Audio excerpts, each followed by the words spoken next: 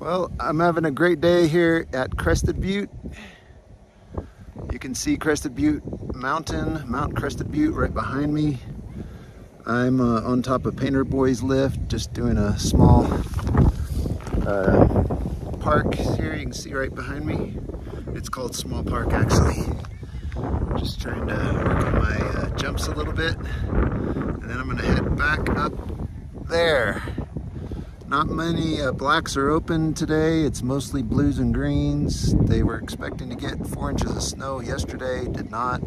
Expecting to get two inches of snow today, have not. So